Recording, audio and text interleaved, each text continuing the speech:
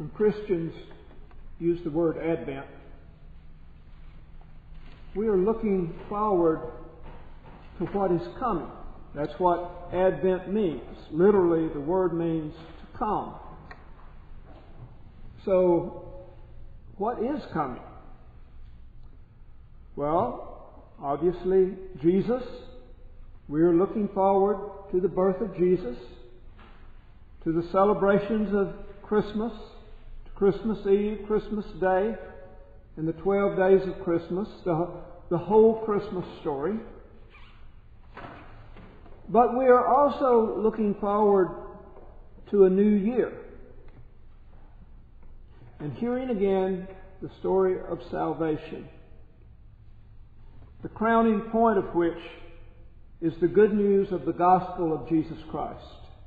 The entire church year is built around the gospel, this New Testament, this new testimony. Now, John the Baptist, who is a key figure of Advent, was nonetheless more of a prophet in the Old Testament sense than in the New. Jesus and John the Baptist often used the same words. Sometimes they meant the same, and sometimes not. When John spoke of the kingdom of God, he was speaking in an Old Testament sense.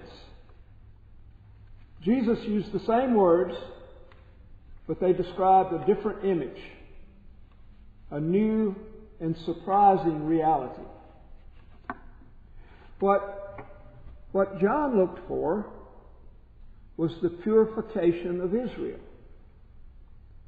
This would occur by judgment, followed by the destruction of the unfaithful among Israel.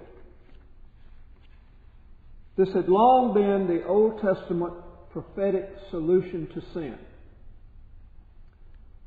Jesus, on the other hand, deeply values all human life, even sinful lives, and looked for their restoration to moral health.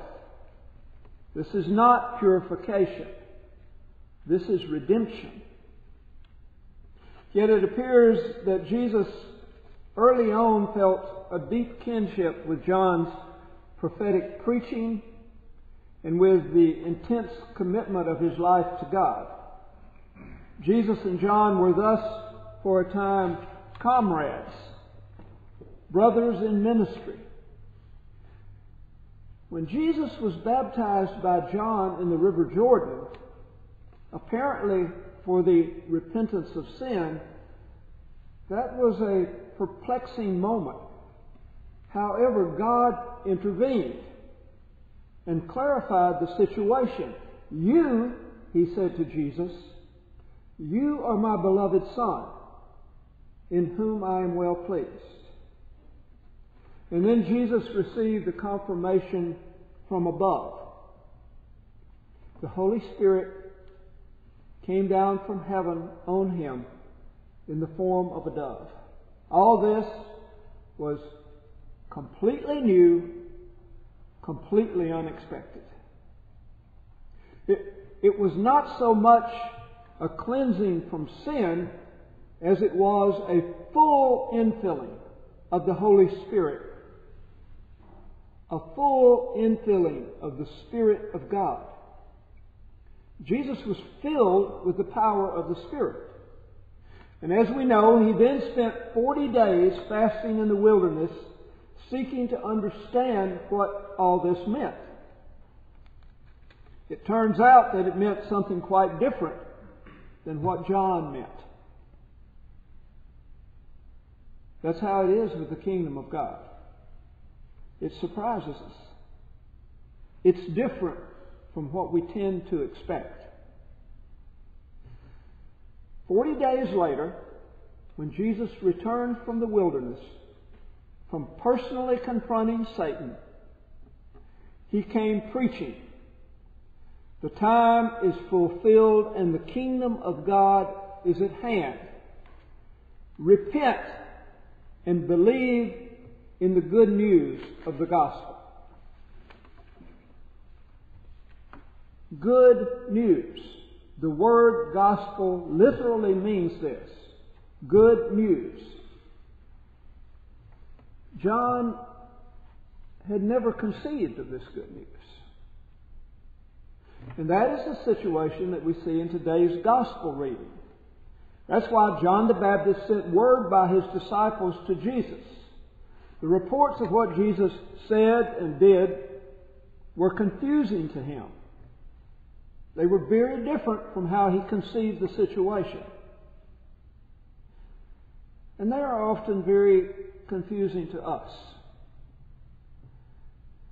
John the Baptist's preaching seemed to be that the kingdom of heaven was essentially bad news for many people. The religious types, you remember, he called broods of vipers. And most of the rest he called chaff, which would be burned up in an unquenchable fire. Every tree that does not bear good fruit will be cut down and thrown into the fire, he said. For what John looked for was the destruction of the morally unfit among Israel, while Jesus looked for their restoration to moral health. And that is why, while we do admire John the Baptist, we love Jesus. But when Jesus came preaching, after his experiences at the Jordan and in the wilderness, he is proclaiming good news and he asks us to believe in this good news. If the gospel were easy to believe, Jesus wouldn't have had to ask us. We would just easily believe it. But he specifically calls us to have faith, to trust in what he says because really the good news is difficult to believe. It turns everything we have believed upside down. All that has seemed so obvious to us. The last shall be first, and the first shall be last. Blessed are the poor. Blessed are those who are hungry. Blessed are you when you're persecuted. Blessed are those that mourn. These are all upside down, reversal of values. The church spends its whole year working to help us to believe these hard to believe sayings of Jesus. Take, for example, God. God, whom we intuitively regard as a disapproving judge. That's what we think about. We're afraid of it. God, according to the gospel of Jesus, is actually a loving and forgiving Father. A Father we can admire and not fear. A good Father, a gracious Father, better than any earthly Father. A Father who gives us, in the very best sense, what we don't deserve. It's hard to believe that God is really that good, that phenomenally good. Again, it's hard to square this good news up with the state of the world that God has created. Almost from the beginning, this world has always seemed dominated by evil. Good people get mistreated, evil people rise to success. Bad things happen to good people. This seems true not only on a communal or tribal or national level, it is actually assuredly true on a personal level. If we will look we can see our own moral failures, our own sins. They are always before us. It's very hard to believe that good can somehow come out of them. It's hard to believe that sin, sorrow, sickness, despair, evil, disease, sickness, and death can be overcome by goodness. What Jesus preaches is a difficult gospel to believe. Yet Jesus says, turn away from believing in all this bad news and believe in the good news. It is important that we believe. Understand this, he says. You've got God all wrong. You think you know Him and you don't. He is for you, not against you. He is not out to punish you. He wants to help you. And He wants you to know that. With His help, you can get this life right. But it will take His help. And Jesus says also very clearly, it will take my help also.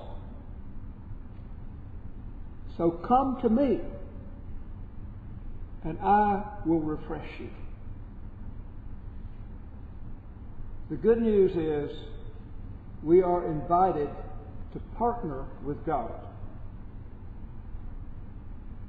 And we ask, why would God want to partner with someone as messed up as me? Why is Jesus dining with tax collectors and sinners? Jesus responds with the good news. He says, Those who are well have no need of a physician, but those who are sick. I came not to call righteous, but sinners.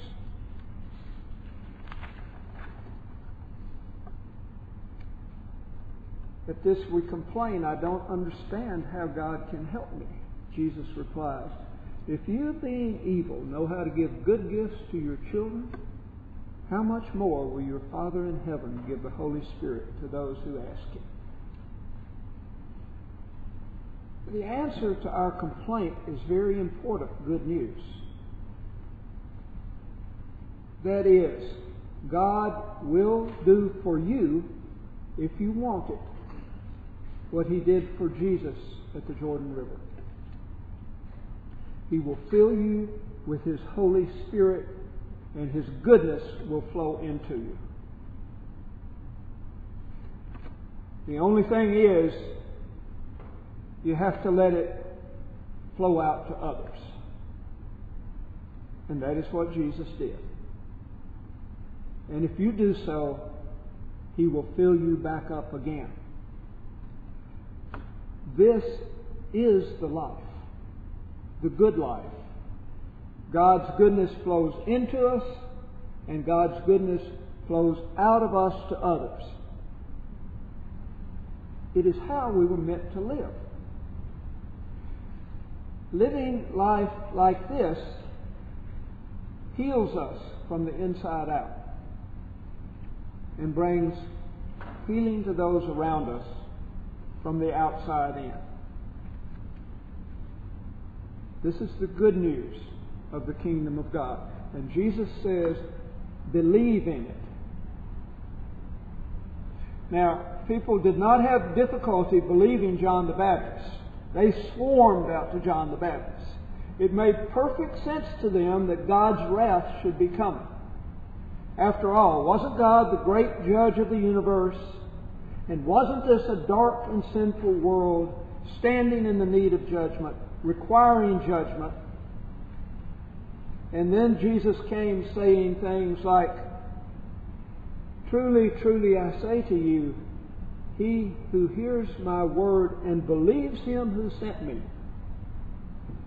he does not come into judgment, but is passed from death into life. For I did not come to judge the world, but to save the world. That is Jesus. I did not come to judge the world, but to save the world. That, for sure, is good news. But it is sure hard to believe. This new year for the church has begun. Began on Advent Sunday. And we are once again beginning to hear the proclamation of the gospel. Perhaps it's been too hard for us to believe thus far. But this is a new year. We have a new opportunity. The time is now. For he says, In the time of my favor I heard you, and in the day of salvation I helped you. I tell you, now is the time of God's favor. Now is the day of salvation.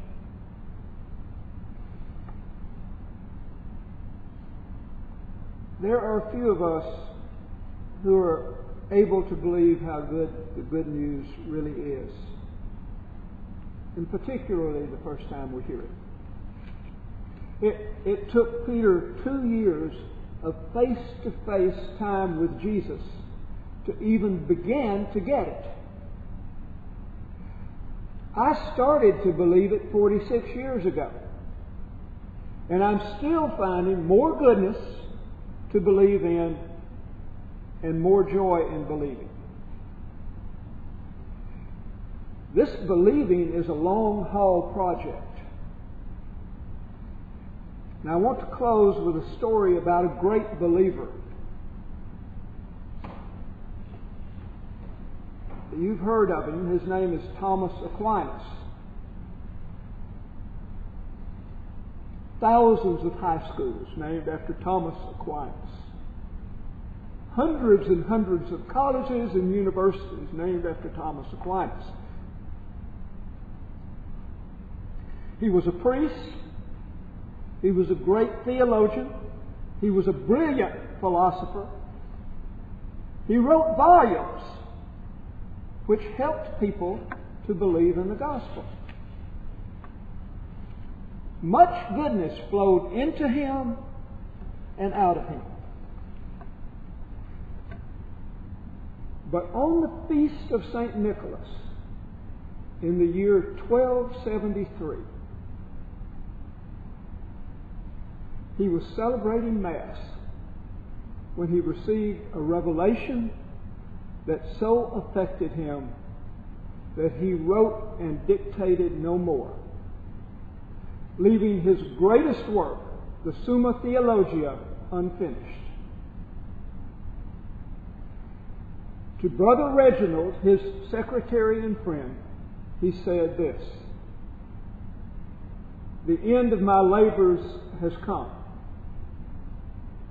All that I have written appears to be as so much straw after the things that have been revealed to me. I can write no more. I have seen things that make my writings like straw. This is this man is considered the great doctor of the church, the great teacher of the church, Thomas Aquinas. I can write no more. I have seen things that make my writings like straw. Three months later, he died. But with a renewed and more deeply profound faith. It's a long haul process. Advent has come. The time is now. The kingdom of God is drawing near. Turn toward Jesus and believe in the good news of the gospel. In the name of the Father, and of the Son, and of the Holy Spirit.